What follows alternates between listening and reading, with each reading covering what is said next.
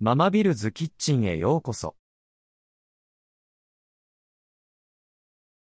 これは非常に簡単に作成できます。簡単ではないのは、多くの美味しいトッピングのどれを使用するかを決めることです。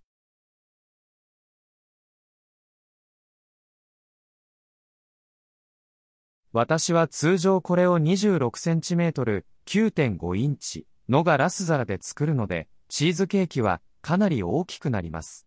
レシピのサイズを3、4に縮小すると、16から 20cm、約6.5から7.5インチの範囲の小さな鍋に適した量になります。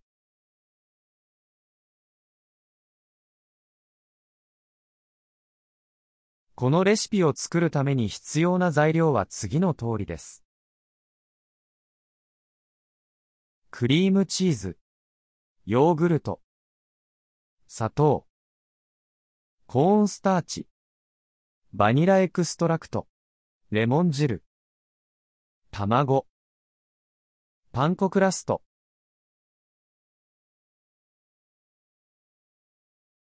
それでは、作りましょう。クリームチーズを柔らかくする。お急ぎの場合は、小さく切って、電子レンジでゆっくり、一度に約30秒ずつ、柔らかくなるまで温めてください。オーブンを180度に予熱します。中サイズのボウルにクリームチーズを入れ、電動ミキサーで滑らかになるまで数分間混ぜます。ヨーグルト、またはサワークリーム、砂糖、コーンスターチ、バニラ香料、レモン汁を混ぜます。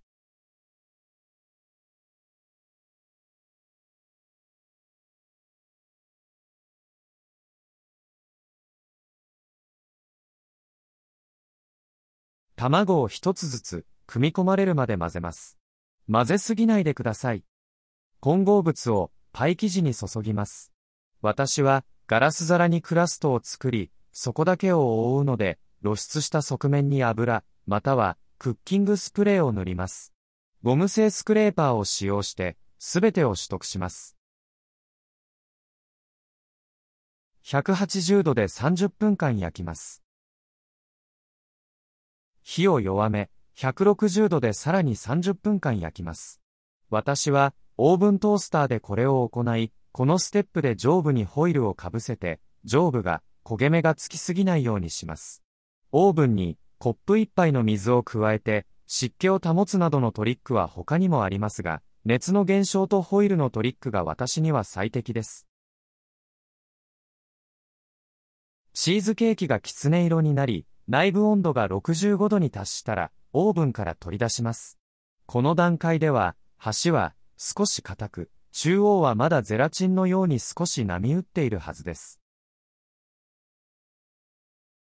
ひび割れを防ぐため、ドアを開けたままオーブンで少し冷ましてから、ワイヤーラックでもう少し冷やします。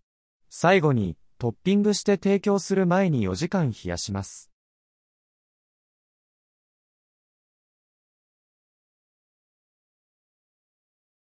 そのままでも、ベリーソース、レモンカード、塩キャラメル、砕いた、クッキー、砕いた、キャンディーバーなどお好みのトッピングでお召し上がりください。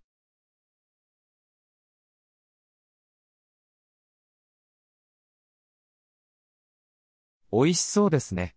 いただきましょう。ご覧いただきありがとうございます。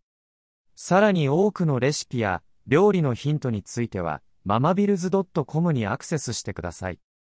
YouTube ユーザーは下にコメントを残すことができます。そして私のチャンネルに登録してください。ありがとうございます。